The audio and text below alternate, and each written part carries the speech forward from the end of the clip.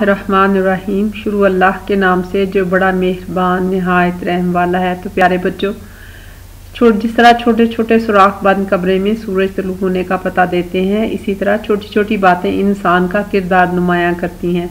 وہ چھوٹی چھوٹی باتیں اگر ہم دھیان میں رکھیں تو کوئی مشکل نہیں ہے۔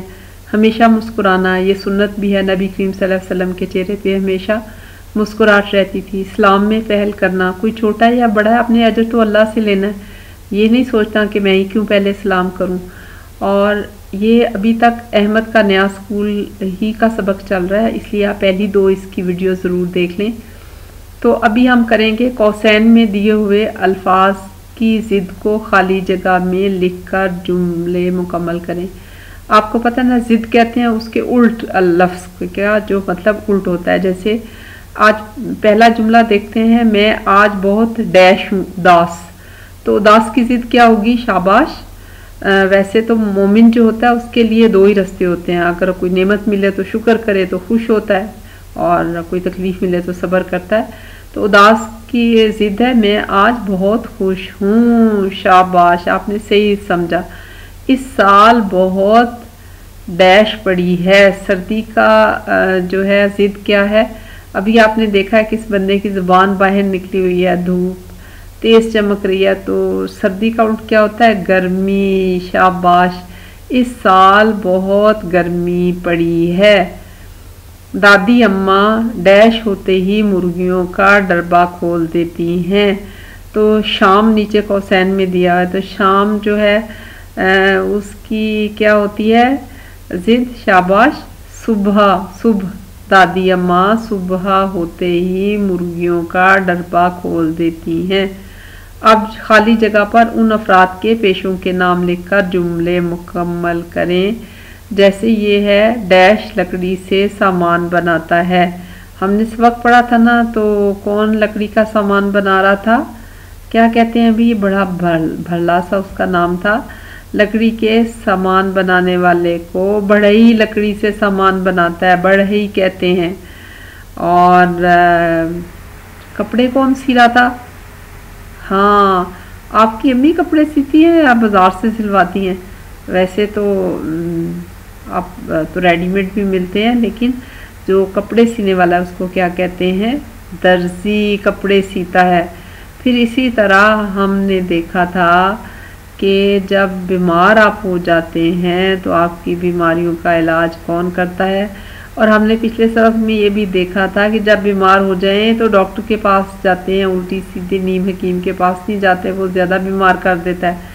تو ڈاکٹر بیماریوں کا علاج کرتا ہے۔ پھر مختلف پیشے ہیں جو آپ کی کتاب میں دیے گئے ہیں۔ ذرا کون کون سے بتائیں؟ شاباش، ایک تو بھی ہم نے پڑھا کہ بڑھئی جو ہے وہ لکڑی کا کام کرتا ہے، اس کو بڑھئی کر، کہتے ہیں۔ پھر آپ کی سبق میں مستری کا بھی ذکر ہوا ہے، جس نے اسکول کی دیوار بنائی تھی۔ پھر آپ کے جو ہے سبق، اس میں درزی کا بھی ذکر ہوا ہے، جس نے بچوں کی وردیاں سی تھیں۔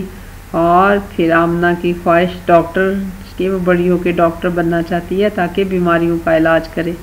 تو ہمیں جسمانی بیماریوں کے ساتھ ذہنی بیماریوں کا بھی علاج کرنا چاہیے۔ اب دیکھتے ہیں اور کون سے پیشے ہیں۔ جیسے ٹیچر ہے، ٹیچر آدمی بھی ہو سکتے ہیں اور خواتین بھی ہو سکتی ہیں۔ اور ٹیچر جو ہوتے ہیں، وہ روحانی باپ ہوتے ہیں۔ تو استاد کا کی عزت کرنی چاہیے، جو وہ بتائیں، وہ دھیان سے سننا چاہیے۔ پھر ویٹر جو ہوٹلس وغیرہ میں چیزیں لا کے دیتے ہیں۔ پھر اس کے علاوہ آپ دیکھیں، ڈرائیورز ہیں اور بے شمار پیشے ہیں۔ آپ آپ ڈھونڈیں۔ تاکہ آپ کو پتا ہو آپ نے بڑے ہو کے کیا بننا ہے۔ تو وہ بڑا انسان وہ ہے جس کی محفل میں کوئی خود کو چھوٹا نہ سمجھے۔